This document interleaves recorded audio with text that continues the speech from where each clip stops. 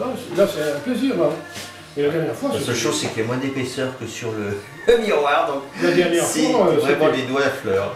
c'était la, la, galère. Hein. Ah. Oh putain. Euh. Ah, 10 minutes pour faire un tour, puis musclé en plus. Ah, oh, puis, oh, on était euh, à débloqué tout. Euh,